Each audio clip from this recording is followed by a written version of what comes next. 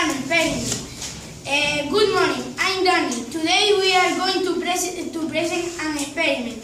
Calle Volcano. We are Diego, Pablo, Aridio, Elena, and Aitana. To, the, to do this experiment and, and present, no, we are, we are have chosen flowings, the flowings and ingredients. 10 milliliters of 10 milliliters of of this soap.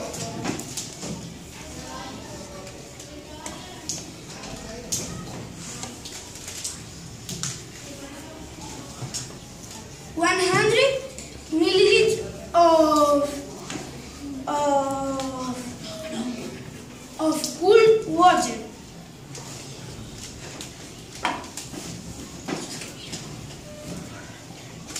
Four hundred milliliters of of white vinegar. Put color in and make making soda starries. Combine the vinegar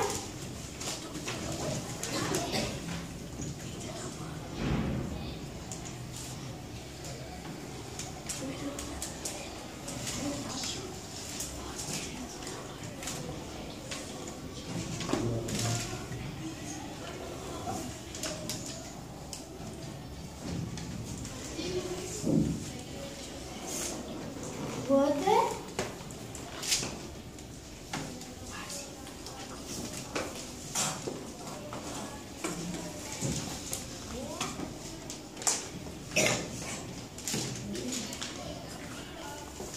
dish soap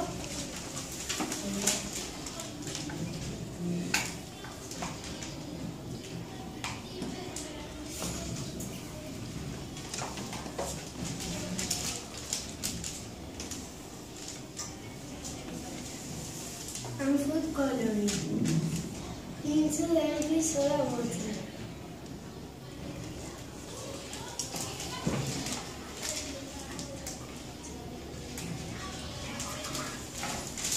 Eh,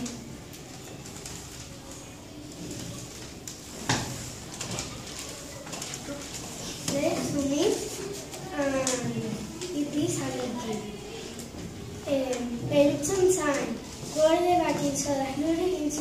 bottle. Quickly, got step.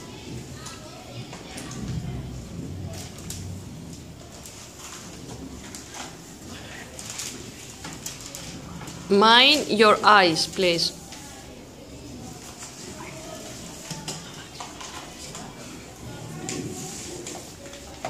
Ah, it's working.